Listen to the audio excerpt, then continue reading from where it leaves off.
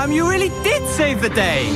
Your practice has paid off, and you have... Oh dear.